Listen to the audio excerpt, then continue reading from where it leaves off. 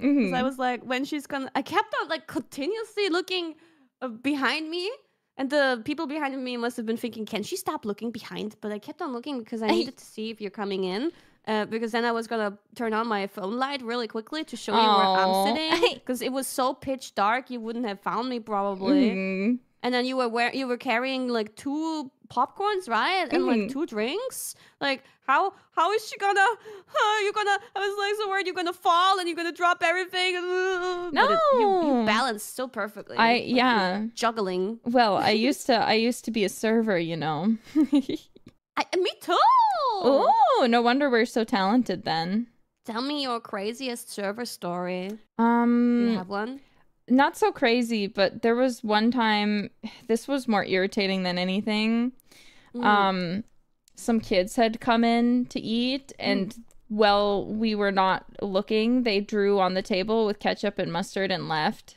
Ah, at least that's removable. Yeah, but it's still a pain to clean up, you know, because like you you can't just use one rag. You got to like continuously go back and rinse it out in the kitchen, and then and I really am grossed out by ketchup, so it was getting to me.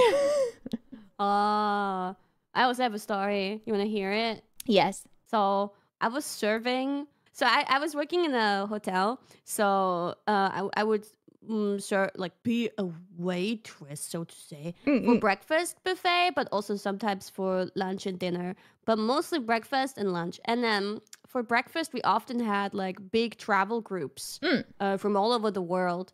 And there was this one travel group where uh, it was already summertime, so we ca- we were able to have the people sit outside uh, on on the tables outside. Okay, Mm-mm. so but you have to go inside to get something from the buffet, and we had like floor to ceiling.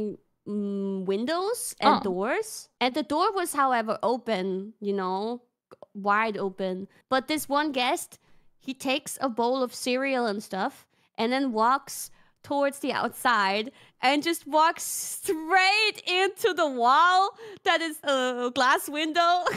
and I saw Why? it with my eyes because he thought that, like, I guess the windows were just so clean, but the door was literally right next to him. It was open. like, normally you should be able to see a difference between where there is no window and where there is a window. But he Uh-huh. walked right into it and he was really perplexed, and all the other guests saw it too. He must have been really embarrassed, so I tried not to laugh, but some people were giggling, and the cereals and the milk were all over the window and the floor. Yeah, but I feel bad because like this can happen to anyone. Like these kind of accidents are so embarrassing. and you- Yeah. you're just hoping nobody was looking, and you just act normal and all that. Like, oh, not a big deal. Yeah, my head is really, really hurting right now, but not a big deal. Hey, but you know the upside. You said that was when you were working in a hotel, right? Hmm Upside is at least you're in a hotel, you're staying there. So even if you get covered in milk and cereal, you can just go up and wash and change your clothes, you know? Like at least it didn't so, happen at an actual restaurant because then you don't have the Oh, option yeah. to leave, you know?